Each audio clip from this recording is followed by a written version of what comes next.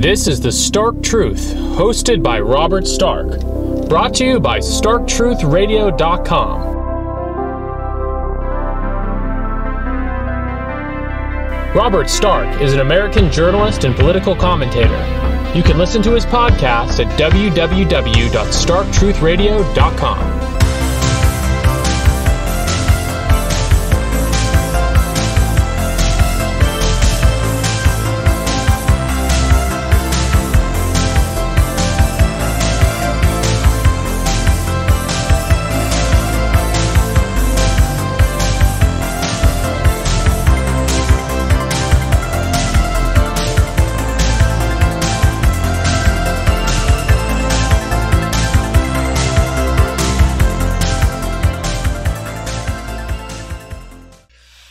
This is uh, Robert uh, Stark. I'm joined here with uh, Matthew uh, Pegan and David Cole. We're going Hello. to be discussing an upcoming uh, film project that we have about about the life's work of Mel Gibson's uh, father, Hutton Gibson. great having you guys on the show. Great to be here, as always. Likewise. To explain the project, is all three of us we're going to be co-directors. But the basis of the documentary is on footage that David Cole collected with uh, Hutton Gibson, and there ha- I mean there has been past controversies which we'll get into about Hutton, which were brought in. They were brought up by the media in the past, uh, around the time that the Passion came out. But to start things off, David, do you want to uh, introduce? Uh, I mean, how far back do you go with Hutton? How you got in touch with him, and the story behind the interview? Well, first, uh, just to give some perspective to the audience, Hutton Gibson, who was Mel Gibson's father, passed away on May 11th, uh, just three months short of his 102nd birthday. So the man almost lived to 102, which is great. Um, I interviewed him in 2004, and I'll give you briefly the context of that. Um, the the Passion, the Passion of the Christ, uh, was just about to open worldwide. and uh, of course, it was a huge story all over the media. Um, media outlets, quite a few of them, were looking for reasons to attack Mel Gibson. Uh, there were rumors, there were whispers that the Passion was anti-Semitic or that it portrayed Jews in a bad light. Now, at the time, it's very hard to go back to 2004 with knowing what people know now about Mel Gibson and some of the troubles he went through after that. The footage with Hutton, was this before the controversial incidents, uh, including the drunk driving arrests and what happened later? 2000, early 2004, March of 2004, when The Passion came out, nothing had happened yet. There had not been any scandal. So what I was saying is that uh, as it's very difficult to cast your mind back to March 2004 when we didn't uh, know any of the stuff that would come out about the scandals. Now, there had always been an understanding in Hollywood that Mel was a religious man, that Mel was Catholic to an extent, but a lot of people could never quite put their finger on it because they knew that Mel uh, had a church that uh, was kind of uh, almost a family church, the Gibson family church that his father had founded. Uh, but there was a lot of confusion. Is it a Catholic church? Is it a a, a separate sect? Uh, is it a heretical sect of Catholicism? Is it a Sedevacantist uh, sect of Catholicism? So there wasn't a lot known. All that was really known by the media at the time was that Mel was a very religious guy and he took his faith very seriously. And his father was the spiritual, the religious leader of the family. Uh, Mel has many brothers and sisters, many uh, kids, many nieces, many nephews. It's a very big family. It's a family that believes very strongly in going forth and multiplying. So this is when we go back to March 2004, no drunk driving arrest yet no problems with his girlfriend yet, uh, none of that. and so the press was trying to find something. The press was trying to find something to give some controversy. And they zeroed in on Mel's father, Hutton, and uh, they found some statements he had made in a radio call-in show. Uh, just his voice. He had never been on camera giving an interview or anything. But they found some statements he made that seemed controversial about the Holocaust, about Jews, and and that became a very big thing. Groups like the ADL played that up. This was with uh, Hutton before the controversies with Mel. But what were the exact the exact quotes from Hutton? Where did they come from, and when were those? When did they become an issue with with the public? Well, Hutton had called into several talk shows, radio talk shows over the years, including the Alex Jones show back when Alex Jones had a radio show prior to his internet uh, career, and um, there again there there was uh, there was a certain amount of confusion about what Hutton Gibson believed because it, it's not like he called these radio shows and gave any kind of manifesto. He seems to ex, ex, express a certain amount of skepticism about certain Holocaust claims, uh, and he uh, it was rumored that his views on the Catholic faith, uh, that he believed that the Vatican II Council was itself heretical and that everything in the church since Vatican II uh, is, was not of the true faith and was therefore false and shouldn't be followed. Uh, but uh, to get to try to put one in the mindset of March 2004, this was all scattered information. That's an important thing to remember. Again, we got to go back to a time before social media and when people didn't have websites. And there was not even a YouTube yet. YouTube didn't even exist yet in 2004, mm-hmm. let alone Facebook uh, or Twitter, or any of these, these other things. So people were hearing scattered things that were going through a kind of media telephone machine where the ADL would say something, the New York Times would say another thing. Oh, so this uh, was brought up in 2004 when The Passion was released? Or was this an issue even further? Did the media cover Hutton like prior to that even? Uh, no, as I was saying, uh, in March 2004, the media was looking for something, some type of controversy to hang around the project to hang around the neck of the Passion. there had never been much of an issue before because Mel, prior to the Passion, not only had Mel lived a fully scandal-free existence in Hollywood, but his movies were always mainstream, enjoyable, big-budget films. he was the very definition of the A-list superstar. And he did popular entertainment. He was a very well-liked guy.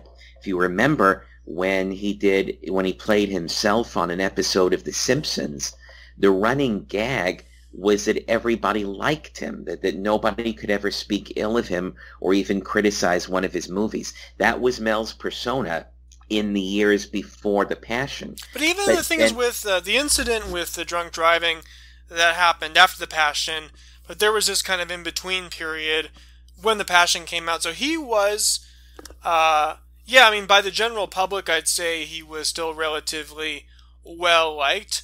But there were issues being brought up by the media about uh, about the Passion and about about theology and concerns that there were anti-Semitic tropes. Yes, because uh, since the Passion was essentially a passion play, uh, the, the story of the death of Jesus, um, there were concerns that Jewish groups like the ADL had that the Jews were going to be portrayed negatively, uh, that, that Mel might blame the death of Jesus on the Jews and not sufficiently blame the Romans, uh, all this kind of stuff. Keep in mind, remember, people were grasping for things. No one had seen the movie yet. And, and to so, clarify, uh, at this time, when the Passion was coming out, people knew that Mel Gibson was Catholic, and they might have known that his father was Catholic, but they but they weren't necessarily aware that they were actually uh, an offshoot of Catholicism, that they'd started their own sect, or was that somewhat known? Uh, well, it was very vague to the public. I mean, a lot of people that there there certainly there were people who knew what the Gibson Church was all about and their their sedevacantism, their belief in um, the difference between the mainstream Catholic Church. So sedevacantism, just to kind of explain, is that all traditional Catholics who reject uh, Vatican II, or that's an even more specific niche? Well, I get in trouble every time I get to all encompassing. I will always hear from various Catholic, uh, either uh, congregants or theologians, and they'll always say, "No, no, there's this schism and that schism." So I'm, I'm just so as to not offend anyone. There are many schisms. There's not just one sedevacantist belief. Now, sedevacantist means that the papal see is vacant. The, the chair is vacant. There is no pope. It's the belief that after Pope Pius, starting with Pope John and the Vatican II, Vatican II conference, that the Catholic Church ceased to be representative of the Word of God, became an institution of man, and therefore is not to be followed. But there's not just one sect of Catholics who believe this, and they go. That's there, right. there are some. There are some who just call themselves traditionalists, some who specifically call themselves sedevacantists. There are other terms as well. The Gibson Family Church is a specific entity uh, among other. There are other uh, Catholics who hold similar beliefs, but also don't consider themselves a member of this one, and that one doesn't consider itself the member of, of the other one. Uh, and so whenever I, I, whenever people hear me talk about this or, or write about it, um, they they always get very concerned that I'm going to lump everything together. So I'm not lumping everything. Uh, there's certain groups like Gibson's Church, which are they're basically explicitly separate from the Catholic Church. They consider themselves the real Catholic Church, but they they're not in any kind of communion with the general body of the Catholic Church, and they would admit to that. Whereas there's other groups which are sedevacantist or or simply anti-Vatican II that actually, you know, have not fully broken away from the church. Uh, one example being uh, this, I think it's called the Society of Pope Pius X. So I guess th- there's not only are there different groups, but those different groups have a completely different relationship with the broader Catholic Church. With some of them considering themselves still to be a part of it, and others being more explicitly separatist. A hundred percent true, Matt. That that is a hundred percent true. Uh, that and it's important to stress that on that spectrum of different groups, different uh, interpretations, that Gibson, Hutton Gibson and his views, and therefore Mel Gibson and the whole Gibson family and their views, they are completely anti the mainstream Catholic Church. They're not they're they're not looking for reconciliation. They don't want to see themselves or be seen as an offshoot uh, or or maybe a poor relation of the mainstream Catholic Church. They are separate and they, they are very much against what they see as what the mainstream Catholic Church has become. It's worth noting, especially since there's so many people in our circles who would maybe identify as quote unquote trad Caths, that that's actually a different thing. A lot of trad Caths, you know, still go to mass. They still go to to Catholic churches. They just have extremely traditionalist views, whereas Gibson's church is an explicit traditionalist uh, splinter of the Catholic Right. Church.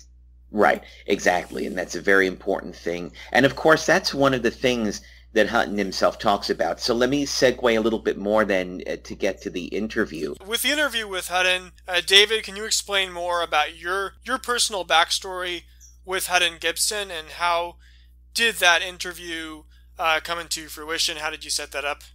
Of course. Uh, so again, we go back to March 2004. Um, Hutton and I traveled in the same circles. He's his uh, he had a very strong interest in Holocaust revisionism, and of course, my history, pretty much everything I did in the 1990s, was centered and built around Holocaust revisionism. I was known as the only Jewish guy in Holocaust revisionism, and I generally I was the one always uh, involved in whatever media we got back then 60 minutes 48 hours all the different daytime talk shows that i did. So hutton knew my work and we were in touch. Uh, as i said we knew the same people and we had each other's information. Um, and I was the first one to reach out to him at that time, March 2004. I reached out to him, though. My message to him, I wasn't thinking yet at that moment of, of an interview. I sent him, uh, he didn't have email. We just wrote letters. Very old-fashioned. Uh, he always wrote letters. So I wrote him a letter because I felt it was very distasteful the way the media was using him to attack his son, to attack Mel. Uh, people had done that to me during my revisionism days.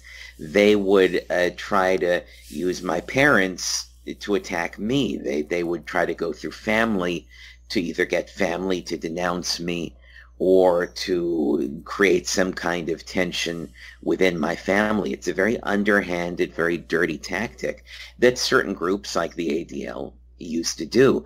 So I reached out to Hutton basically to say, I sympathize with what you and Mel are going through. I've been there. And it's regardless of one's beliefs, and certainly I'm not a Catholic, um, uh, any type of, of Catholic, so this wasn't somebody this wasn't one Catholic writing to another. It was me, David, David Cole, the secular Jew, uh, writing to Hutton Gibson, and um, but I just let him know that that I felt for him, felt for what he was going through. And it basically, it was just a, a letter of of solidarity, and that began a correspondence over the course of several weeks. Because of course, since we were writing actual letters, it would take several days for one letter to get to one person, then them to write a letter, get it back. So we're talking about a couple weeks go by.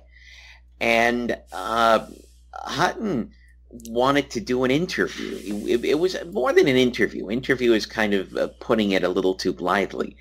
Um, Hutton wanted to record a record of his uh, beliefs, his feelings, his thoughts on, on everything, on, on Catholicism, on theology in general, on the Holocaust, on other faiths. He had been accused of being anti-Jewish. He had been accused of being anti-Muslim.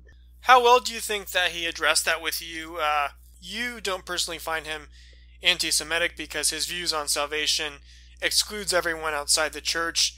But how did he explain those his positions against the allegations against him? And also, like, did he really did want to make like his case to the public and to better explain his positions as opposed to how the media was describing him. Yeah, and also just to continue, though, to set the scene, it was decided that I would come out to Tomball, Texas, which is right outside Houston, and that I would bring a cameraman and equipment, and that I would set up a two-camera shoot uh, at Hutton's very nice home that he had in this suburb in a gated community. Uh, the big fountain in the middle was very, very pretty.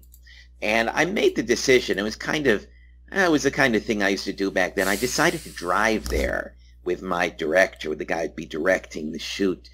Um, it, it, I probably should have flown, but I liked, I always like road trips, and I just feel freer when I can uh, pull over at a motel or a hotel and uh, have dinner whenever I want to. So I made the decision to drive all the way from LA to Houston. Uh, it took several days, of course, and um, but it was two of us, well, just me, and a, a, an SUV full of equipment.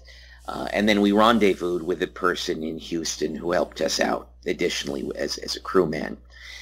Uh, so once we get there, and I've got a whole weekend with Hutton. It wasn't just one day, but I was going to be there the whole weekend. Um, it's important to, to stress for your, your listeners that this was a passive interview. I wasn't there to prompt or argue or create controversy. This was for Hutton to say the things he wanted to say. And, and I would be functioning solely as the eyes and ears of the audience and really only interject at those times if I felt that, that maybe there was something left unsaid that maybe I, as an audience member, had a question uh, that where I'd, I'd like a little more info about something. But I wasn't there to debate and I wasn't there to pass judgment. So when we talk about do I feel he's anti-Semitic? Do I feel is he a Holocaust revisionist? Is he a Holocaust denier? Is he just a curious historical buff? I, am very uh, concerned with just letting his words speak for themselves and letting everybody draw their own conclusion because none, none, of, none of this is about what David Cole thinks. It, it's not about my opinion of the man. I liked him. I mean, we got along very well. He could not have been more hospitable to me. Um, there were several Gibson family members. One of Mel's brothers and that brother's family and, and, and one of the sisters they were all living in that same area so, so i didn't were just there any concerns from their part about whether your interview would be fair towards him, and then overall, like, were they were they satisfied by the results of the interview? Like, did Hutton did Hutton say like, David, you were a fair interviewer, and this is the positions I want out there? It's a good question, and one of the things that was very clear during that weekend, seeing Hutton interact with his, his two of his other children and all of his grandchildren, uh, it became really clear what a patriarchal family this was. Hutton was uh, at the top of the pyramid. No one, no one questioned his decisions. In other words, there, wa- there, w- there were no concerns expressed because it was taken for granted that if Hutton wants to do something, he's doing it for a reason, and he has a good reason to do it, and his decisions are all made smartly and uh, for the right reasons. So when I would meet the other family members, they were fine with. It. They figured if Hutton's fine with it, they are fine with it. In fact, my memories of the dinners that we had the two nights that I was there, the dinners I had with the big family, we really just talked about everyday life things, art, movies, entertainment. You know, when when the cameras weren't rolling, it was just like a gathering of happy people. Uh, I didn't drink very much back then, so I I wasn't. Uh, I don't think there was any alcohol. Well, I'll put it this way: if there was alcohol, I don't remember seeing it. I certainly didn't partake of any. Um, five years later, I would have demanded lots of booze. So the interview happened for me just, just at the right time before my alcoholism started to get very much out of control. Uh, so it was just a very friendly, happy time with very contented, very happy people. But there was there was certainly no questioning of Hutton's uh, desires. Uh, he wanted to do this lengthy interview, these interview sessions, and the family was very accepting of it. They were accepting of me. They were accepting of, of my cameraman. Uh, and uh, we had a wonderful time. So uh, that was uh, it was interesting seeing that family dynamic uh, of I mean it was really great. It was actually, was the when, footage when, exclusively of Hutton, or did the family allow you to film the other the rest of the family? No, this was just of Hutton. He just wanted this to be his testament, uh, his words, basically uh, for posterity, all of his views. Uh, we were that we did the interview sessions pretty much all during the day. I think that his uh, the the Mel siblings out there were probably at work during that period, so it wasn't even really a matter of, of them being around. I only saw them in the evening. Uh, but this was Mel Mel's dad. This was Hutton's show, and uh, nobody else asked to take part of it. Hutton did recommend that when I got back to L.A he recommended that I look up another of Mel's brothers, Donald, uh, Donald Gibson, who lived in L.A. at the time. Uh, Mel, of course, lives out here, Malibu, Agoura Hills. Um, Donald lived out here as well, and Donald is the brother who does. He sounds very much like Mel, so Donald does a lot of voiceover work for for the direct to video sequels to some of the Disney films that Mel has voiced. So uh, Donald was Hutton wanted to see if Donald wanted to be in the film in some way because Donald was in the entertainment industry, but uh, we could never work it out. I spoke to Donald a couple times when I got back to L.A. and uh, we never really got together to do anything. Now, it, important to stress for your listeners, one stipulation of these interview sessions was that nothing was to be released until Hutton passed away. Basically, what you said earlier is that Hutton wanted to present his views to the media. Did he give any explicit reasons why he wanted it to be the film footage to be put off until he passed away? Well, not to the media. He wanted a testament of his views for posterity. Uh, oh, so it's not so much. It wasn't about the media coverage about like controversies. It was more to record his legacy in the long term. So there's a record of his life. Well, yes, I'm just saying he wasn't recording it for the media. I'm sure that one of the reasons he wanted to do it was because of the media coverage, but he wasn't recording this for the media. He was recording it for the public. He was recording it so that there would be a collected uh, record of his views. Now, as far as why he didn't want it released until after he passed away, there were several stages to that decision. The first stage was while I was there and doing the interviews, Hutton definitely did not want this released while The Passion was out, while the movie, The Passion, was in theaters. Now that's obvious why that was, because it would have been a distraction. The Passion was Mel's uh, great magnum opus, his most personal project that he'd ever done. And Hutton did not want to take away from that at all by having this interview out there, having this footage out there, because he knew the media would jump all over it.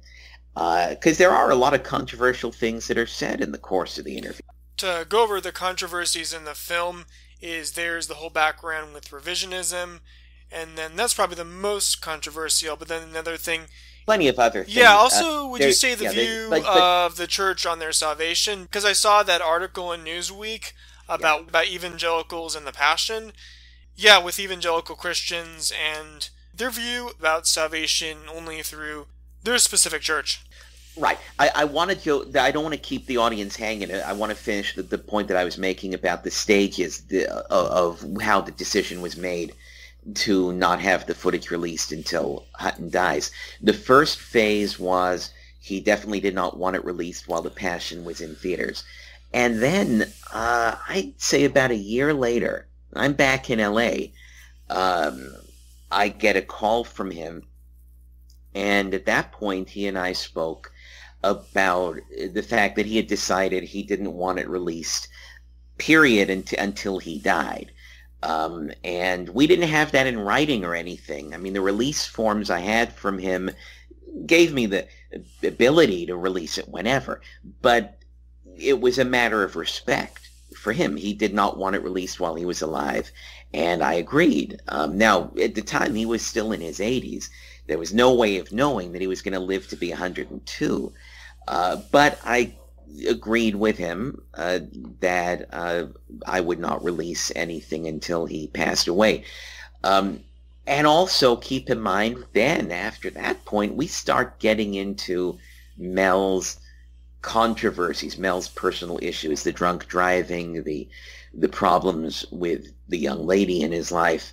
And during that period, I spoke to Hutton a couple times during that period, and it was very, very clear Hutton did not want this coming out. Did you stay in touch with Hutton over a regular basis, or did he touch get in touch with you much later to express those specific concerns about releasing it?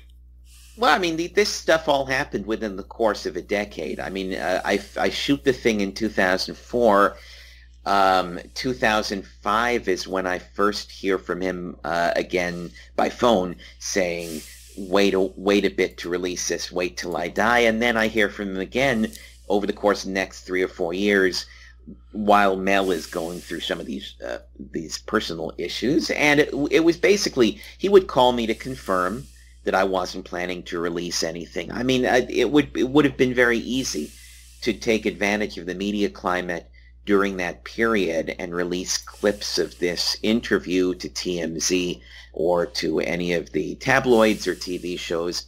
But Hutton didn't want that done, and I respected that. Uh, the last time I spoke to him was probably around 2014. Um, and I, I have not sp- I did not speak to him in the six years before he passed. I don't even know what his mental state was like in, in those last. Were you in touch with anyone else from from Mel Gibson's family besides Hutton in that time frame?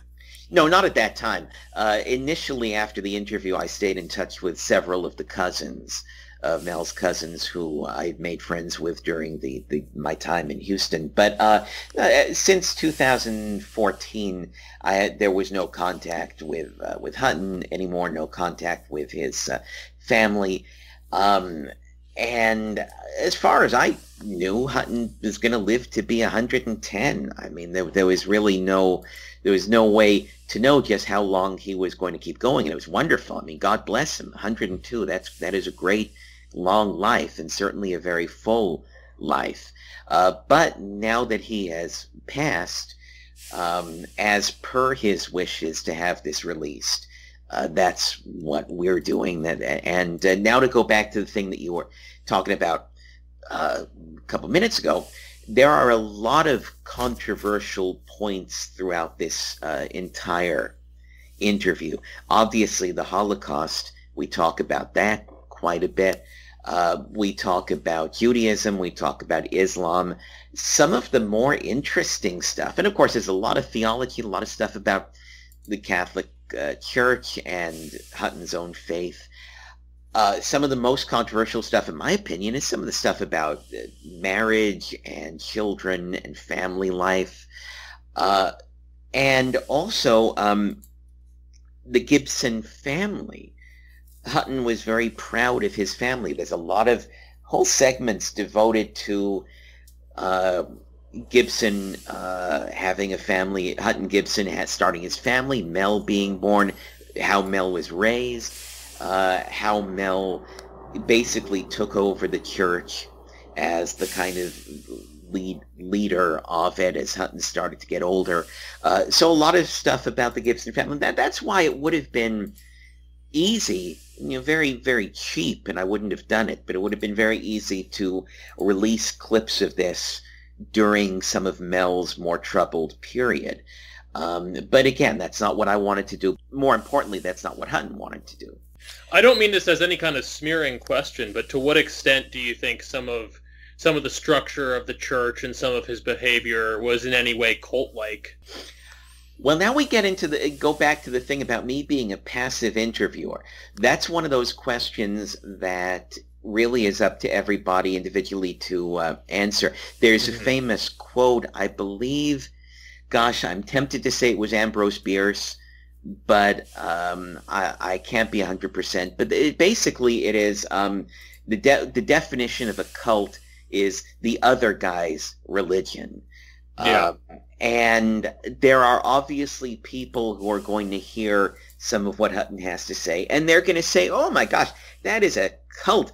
That is a compound. They live in a compound. They live in this insulated environment where they only speak Latin during the Mass, and it's completely impenetrable to the outside world, and they have their own language about it. That's gonna, there are going to be people who say that, but of course, there are people who say that about Mormonism. There's people who yeah. say that about about most things. Even uh, even mainstream Catholicism, people will right. critique it on that level. I mean, you bring up an interesting right. point. Uh, we, we tend to be very critical of very of, of hierarchy when it's on a small scale like that. And you know, you talk about him being the patriarch and such. Uh, we, are very critical of that on a small scale, but then again, how many institutions in society are organizing? Mel Gibson, like he was never explicitly political like some Hollywood Republican types who've David. David's obviously known a lot of them, but he was very religious and socially conservative, so that automatically creates uh, tension with a lot of Hollywood, which is very liberal, socially liberal at least. So they're going to be opposed to that from a liberal standpoint. And then there was that thing I sent you from Newsweek about what evangelicals might think about the views, their views on salvation, because Mel ha- does have a lot of fans among evangelicals. Yeah, and uh, it is important to point out that next year, I think it's scheduled for around Easter next year, the sequel to The Passion is coming out that's going to deal with the resurrection. And that is where, as you pointed out, Robert, with that article in, in Newsweek, that's where Catholics and evangelicals have certain disagreements about what happened in between the crucifixion and uh, the resurrection. So um, all of these, all of these matters, uh, in a way, this Hutton Gibson interview is a Rorschach test. People are going to bring their own prejudices and their own biases and their own history to it. Uh, and again, that is why what we're putting together as we put this uh, this interview together, these interview sessions, we put them together in, in, in a film format. We're doing the opposite of what someone like Michael Moore, like a hack like that would do. Michael Moore is all about telling the audience what to believe, telling the audience what to think. These are my opinions and I'm going to make them your opinions. I'm going to I'm going to squeeze the information and mold it and shape it until it fits my mold.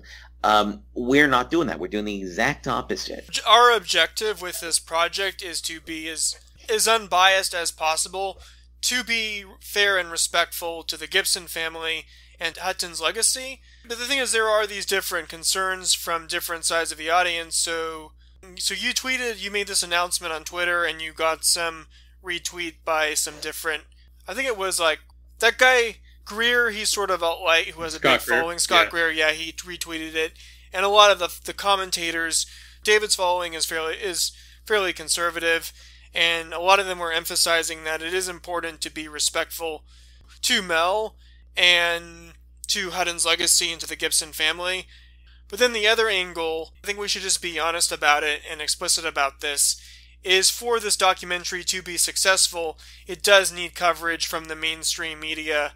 There are people in the mainstream media who might who might see this as an opportunity to say, "Oh yeah, like he really is uh, what we, we said all this time." So I think it is it is really crucial to be to be neutral, to have different perspectives, to interview to interview different like uh, one thing I'd like to do is interview people in Hollywood who have worked with Mel, as well as there are there actually are people from Hollywood backgrounds who are fairly liberal, but they've still defended Mel against how he was treated. I mean, a lot of people would say it did seem like at a period there was a period where he was just flat out uh, blacklisted, but he has had success at his own independent projects because he's wealthy enough to fund them. And he's, I mean, Mel Gibson is a talented filmmaker, so it is important finding that right balance as being respectful, but at the same time, creating something that will grab the media's attention. Yeah, and the key to that is remaining neutral. The key to that is simply letting Hutton Gibson have his say as he wanted to have. Uh, and um, there's you can't control or channel how other people are going to interpret what he says. He knew this. Hutton was sharp as a tack when I interviewed him in 2004, and he understood that people are going to interpret his words as they as they choose to, as they want to. He's a very personable guy, um, uh, very friendly. Uh, he was not in any way, even when he talks about people he doesn't like or things he doesn't like. He's very personable about it. And he understood. He's going to put these words out there for the world and people are going to interpret them as they will. The media will uh, make of this as they wish and there's no way to control that. The only thing that we can do as filmmakers is to have integrity about it and uh, give give the late Hutton Gibson the respect of letting him have his say. Um, as um, uh, as we've talked about before, there have been there's like one horribly negative piece on a Hollywood. Uh, oh yeah, yeah, you have that link. It's mm-hmm. going to be linked yeah. on the Indiegogo yeah. site. But yeah, that is yeah. really pretty pretty rude I mean, about him. Even if you disagree with someone uh, politically, it's a pretty rude thing to say about someone who passed away. Yeah, you have this uh, this entertainment site Showbiz 411 and this guy uh, Friedman who used to write for uh, Fox News and the Washington Post. And Friedman basically he's well not basically he he's literally says roast in hell Hutton Gibson hell's too good for you and my God this man Yeah. has just died he was a father a grandfather and a great grandfather and just because you don't like something he might have said about the Holocaust you're going to wish him to hell uh, the day after he dies. It, it's it's horrific and goes beyond disrespectful, but that's why it's important for Hutton to have the last word. People will say what they want about him. They they have and they always will. But this will be his testament, his views. He had a whole weekend to tell me anything that he wanted to tell me. Uh, I was there, a captive audience for him, with all of the uh, video in the world to to record. So uh, this is for him. He knew that when he died, his critics would have a field day.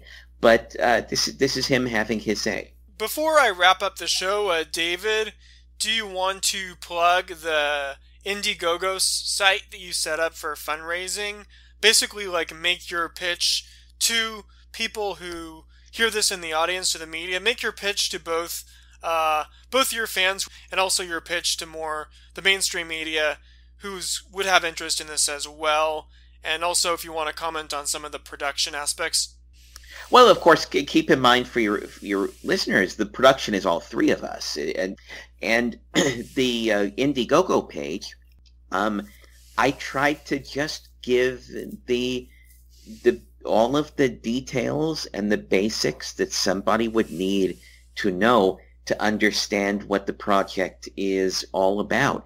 Um, I think it conveys the essence of the project. I think it conveys why the project is interesting and certainly it's going to be a thought-provoking the kind of thought-provoking documentary that's going to get people talking for a very very long time because the issues that are touched upon are evergreen issues. Issues of faith and family issues of religion politics stuff that um, a history of course things that are not dependent on who is president at the moment or uh, who is in control of Congress at the moment or whatever else might be going on in the country at this particular moment. These are eternal issues that are being discussed. And that's why I think this documentary would have legs for many, many, many years to come. You were talking about concerns about concerns from conservatives and from his fans and family. Concerns that there might that might portray controversies. Are there some, are there a lot of things in the film that will portray him in a positive light and will bring bring more positive attention as well, which, I think is important. Well, I mean that that's a tough question because everybody's going to view it with their own biases. I can talk about my own bias, but I knew the guy. I liked him. So regardless of even the uh, content of what he says, I like the guy. He's a feisty man. He was a fighter. He was an author, a playwright, a theologian, a well-read man, but he was also very funny. Uh, he told some great anecdotes in the film. There are some very light moments as well as the heavy stuff. So from a personal point of view, I think people are, are going to like him. Re- whether they agree with what he says, disagree with what he says, love half of it, hate half of it, that's going to be up to every individual viewer who sees it. I can't speak for everyone, but I can certainly say that um, he's riveting. And uh, any any fan of the documentary genre knows it's the most important thing. If somebody is riveting and they can keep your attention for a couple hours, that's really what matters. You may love them, you may hate them, but if you're compelled to watch them, then it's by that standard alone, it's a good documentary. Yeah, and um, as David has kind of said, my goal in assisting with the film will be to make a, a product that anyone watching, regardless of the biases they might bring in from all sides, can appreciate kind of sociologically and make their own decisions about what they see. Yeah, exactly. Yeah, for this documentary to be successful, obviously all three of us are co-directors on this, and it's not just going to be one long interview with Hutton that will be the focal point, but what we like to do on the production angle is get lots of footage and conduct interviews with lots of different people, people in the entertainment industry, people who have personal connections. Yeah, I mean that's, That's basically right. what we're going for in the production angle. That actually should be part of our pitch that we make here and maybe even on the crowdfunding or on social media is that uh, if anyone knows someone or if anyone is someone who might have, um, who feels they might have important insight uh, into Hutton Gibson or any of the matters here, uh, we're, we are still looking for people to potentially interview or take contributions from. Yes, absolutely. We, we've already got a couple of supplemental interviews under the belt. We're looking for some other ones. And we do want to open it up, obviously, so it's not just a couple of hours of, of looking at one man talking. The, by opening it up, by getting additional perspectives uh, of people who knew him, people who either were members of the church or family friends or colleagues, or people who are in the business, people or people who are in theology. Uh, but it's bringing in additional perspectives um, to open the film up a bit and make it a real documentary and, and not just one long interview. Uh, now, the entire raw footage from the interview will be released when we do a DVD. That will be one of the special features where you'll get to see everything because we want to make it clear that we're not selectively editing anything from what Hutton is, is saying.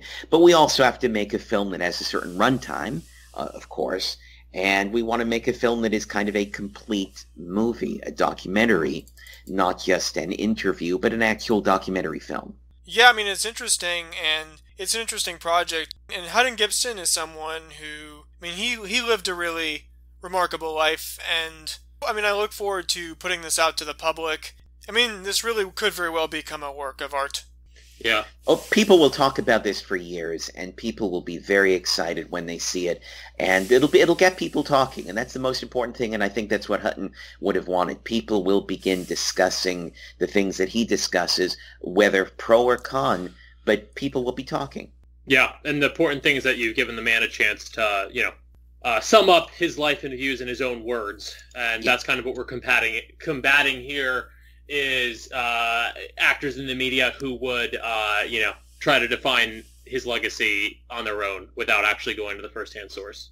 Yeah, exactly. This is his. It's his legacy, like you said. This is his legacy, and he wanted it to live on after him. So we're honoring that request. But I did want to say that part of my interest in the subject is that I actually did grow up pretty, and I was alluding to this earlier. I grew up in, from a pretty conservative Catholic background, though nothing like uh, Hutton Gibson's church, but nevertheless conservative Catholic.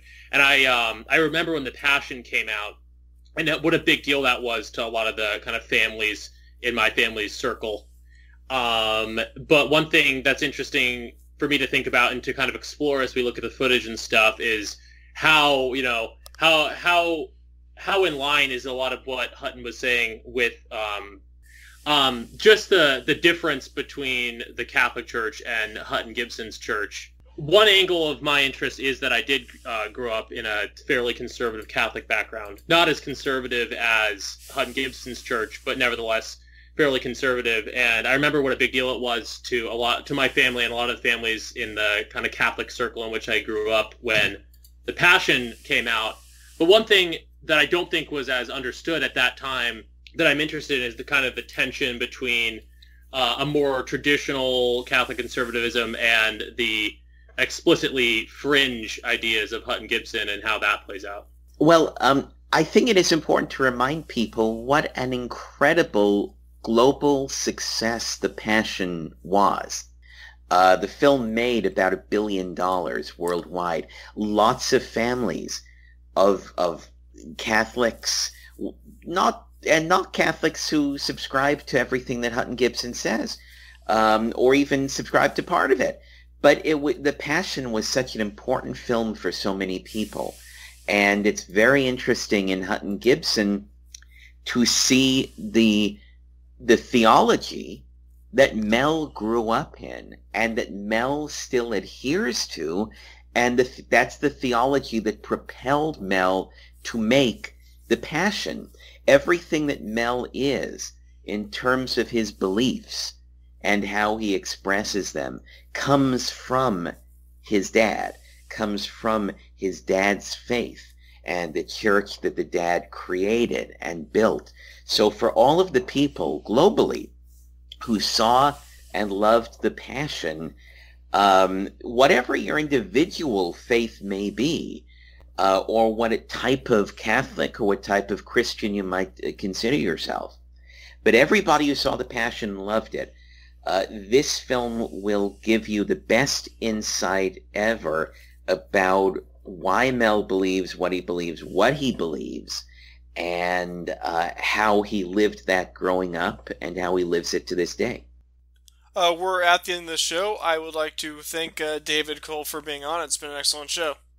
Always a pleasure, Robert. Anytime, you know that. Anytime, I'm always here to do your show because it is my favorite show to do, uh, and I've done a lot of them, and they've, they've all had their good points, uh, but yours is my favorite, so it's always a pleasure. And also, thanks, Matt. Of course. Nice to talk to you guys.